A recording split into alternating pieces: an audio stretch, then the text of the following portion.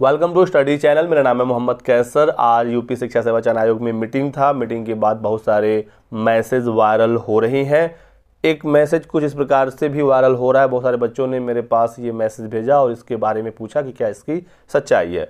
बताया जा रहा है कि टीजीटी बीजीटी परीक्षा को लेकर आज मीटिंग थी और एक से दो एग्ज़ाम जनवरी माह में होने की खबर आ रही है। मैसेज में दावा किया गया है कि सदस्यों की सहमति बन गई है और जनवरी के प्रथम सप्ताह तक सेंटर उपलब्ध कराने पर चर्चा हुई। सभी जिलों के डीएम को फिर से पत्र लिखा गया कि अगले सप्ताह तक परीक्षा सेंटर भेज दिया जाए, जिसके बाद परीक्षा तिथि पर मुहर लग सके। अगले सप्ताह फिर से मीटिंग होगी और उसमें एग्ज़ाम डेट कंफर्म हो जाएगा। एक और मैसेज कुछ इस प्रकार से ये भी है, जो काफ़ी ज़्यादा वायरल हो रहा है। तो क्या इन मैसेजेस की सच्चाई है? इन खबरों की सच्चाई है। तो दोस्तों, मैं आपको बता दूँ कि आज की जो मीटिंग थी, वो टीजीटी पीजीटी परीक्षा को लेकर नहीं था, बल्कि ये मीटिंग था 2016 कला के इंटरव्यू को लेकर। देख सकते हैं, आयोग ने 2016 टीजीटी कला इंटरव्यू का पूरा शेड्यूल जारी कर दिया। यहाँ पर कैंडिडेट का रोल नंबर नाम फादर नेम बैच किस डेट को होगा, किस टाइम को इनका इंटरव्यू होगा, सब कुछ बता दिया गया। तो 10 दिसंबर को इंटरव्यू होने हैं टाइम वगैरह सब यहाँ पर दिया गया है। आयोग ने अभी कुछ दिन पहले 2016 टीजीटी आर्ट का रिज़ल्ट जारी किया था और इंटरव्यू के लिए बताया गया था कि 28 नवंबर से इंटरव्यू होगा। हालाँकि इंटरव्यू को पोस्टपोन कर दिया गया और आज फाइनली बताया गया कि 10 दिसंबर से इसके इंटरव्यूज़ होंगे और इसकी पूरी तैयारी कर ली गई है। चूँकि 2011 बायोलॉजी का भी रिज़ल्ट अभी कुछ दिन पहले आयोग ने दिया। तो बायोलॉजी वाला इंटरव्यू 29 नवंबर से होना है। इस वजह से 28 नवंबर वाले इंटरव्यू को अब 10 दिसंबर कर दिया गया है। और इसी को लेकर आज मीटिंग हुई। इस संबंध में नोटिस आपके सामने है। ठीक है? तो आयोग एक के बाद एक पुरानी भर्तियों को क्लियर कर रहा है। असिस्टेंट प्रोफेसर का रिज़ल्ट कुछ समय पहले जारी हुआ था। 2011 बायोलॉजी 16 कला पर भी आयोग ने काफ़ी काम किया रिज़ल्ट जारी किया। इंटरव्यू अब इनके होने जा रहे हैं। लेकिन अभी जो टीजीटी पीजीटी परीक्षा तारीखों को लेकर खबर वायरल हो रही है, उसमें सच्चाई नहीं है कि एग्ज़ाम आपका होने जा रहा है।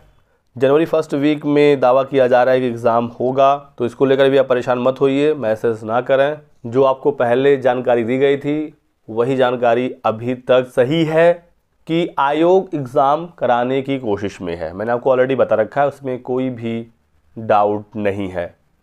सरकार की तरफ़ से प्रेशर है, आयोग को परीक्षा कराना। लंबित परीक्षाएँ जल्द होंगी लेकिन अभी तक एग्ज़ाम सेंटर की सूची नहीं मिली है आयोग को और ये बहुत बड़ी समस्या है। लगातार डीएम से परीक्षा केंद्रों के बारे में जानकारी मांगी जा रही है चीज़ें इसमें बताई गई हैं तो ऐसा नहीं है कि इसमें सब कुछ गलत है। जो मैंने आपको पहले अपडेट दिया था, कुछ चीज़ें इसमें हैं कि डीएम से लगातार सेंटर की उपलब्धता मांगी जा रही है। लेकिन अभी तक सेंटर्स की सूची नहीं मिली आयोग को। साथ ही साथ अभी नया पेपर नहीं बना है। साथ ही साथ जो योगी सरकार ने नई परीक्षा नीति लागू की है कि अलग अलग एजेंसियाँ होंगी अलग अलग काम के लिए परीक्षा कराने से लेकर ओएमआर का जाँच ट्रांसपोर्टेशन ये सब अलग अलग एजेंसियाँ करेंगी। बहुत सारे शिफ्ट में परीक्षाएँ होनी है, चाहे वो टी हो पी हो या असिस्टेंट प्रोफेसर हो। तो ऐसे में भी तैयारी नहीं हो पाई है आयोग की और दिसंबर से जनवरी तक परीक्षा होने के जो चांसेस हैं, वो अब ना के बराबर ही हैं।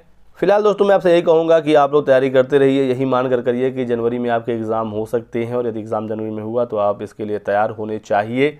लेकिन जो करंट सिनेरियो है, उसके अकॉर्डिंग जनवरी में परीक्षा होने के जो चांसेस हैं, वो काफ़ी कम है। मैंने आपको पहले भी बताया है, अप्रैल के आसपास एग्ज़ाम आपके हो सकते हैं।